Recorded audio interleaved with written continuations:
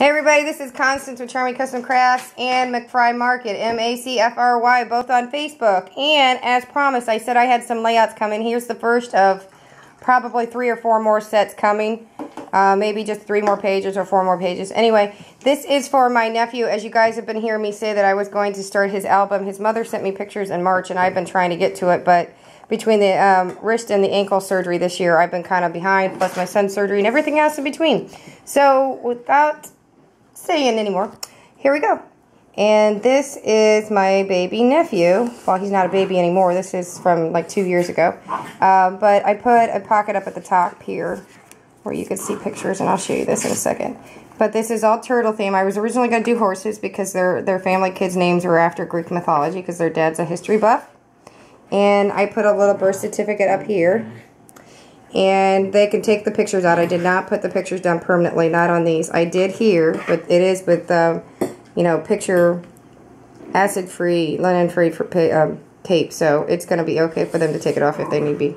Uh, but that is one of the mats there of when he was weighed before they left the hospital, and on the back, Mommy can write what she wants, and it's cutie pie. Um, and this is Pride and Joy here, and I put a little glitter glue and just a little bit of accents here, and, and then um, the, the, the double mat, this is actually a quadruple, one, two, three, four, uh, there's five layers right here on this for me to do this to get that effect. And then I put ribbon here, and then a paper here, some stickers here, it says baby, and then his name is Troy. And I put just a little bit of flowers. I don't want to overdo it, even though this is mainly for mom. Um, you know, it's still going to be eventually his album one day. So, and it says Sweet Dreams here.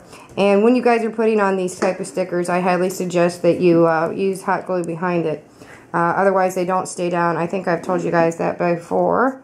And then again, here's a little turtle sticker. And I added double stickers on top of it. And I put just a little bit of my, I'm famous for, the, uh, the shimmer glitter glue. And then I put little places here for mom to write things from birth. Uh, of course, this will be the main spot that she can put the information on. And then she can put some other little things here. Um, so that is page one of the two sets uh, from birth. And if I can get it to focus again.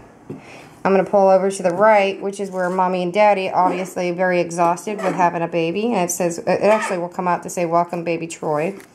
And then again, it's a little bit opposite of the effect. I did not put this on this side because I wanted it to be different because I'm going to follow through with the paper. And I'll get back to this mat in a second. But if you can see, there's mommy. Mommy and baby Troy.